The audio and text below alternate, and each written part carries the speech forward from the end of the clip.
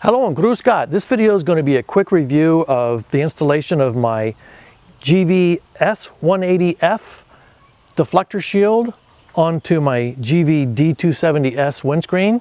So this is my 2011 Suzuki GSX 1250 FA and I love everything about it.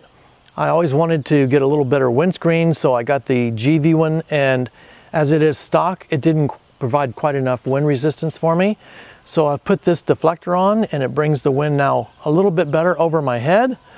And um, this windscreen fits the Suzuki GSX 650F from 08 to 14 and the Suzuki GSX 1250F from 2010 to 2015.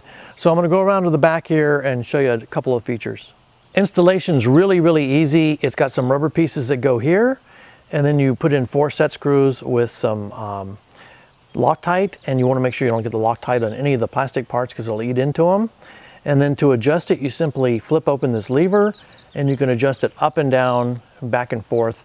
I kind of like it in a more vertical position and then you simply lock it into place and you're ready to go. It's that easy, awesome product. I'm real happy with it. I've already driven around town with it. I love it, love it, love it.